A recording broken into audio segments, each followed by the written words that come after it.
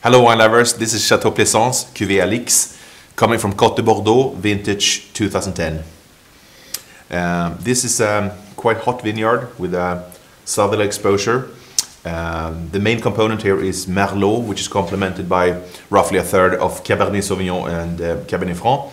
And uh, 2010, this is a wine which is made in a quite modern style, I should say, like most of the wine coming from Mr.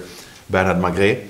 So it's a, a really inviting nose here with finely toasted oak, ripe dark fruit like blackberry and plum, cherry, but also a hint of some spicy, gamey, like leather, some leather notes, yeah.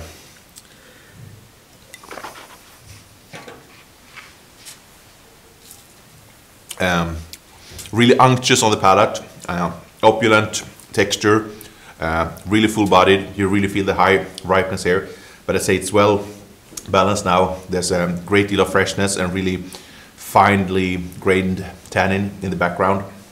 Good use of oak and a very long, powerful finish.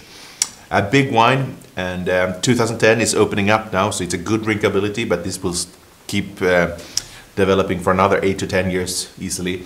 And I would opt uh, for something, um, I mean, rich and tasty, like a grilled fillet of beef with um, cep mushrooms or perhaps even with some game dishes like uh, roe deer or reindeer.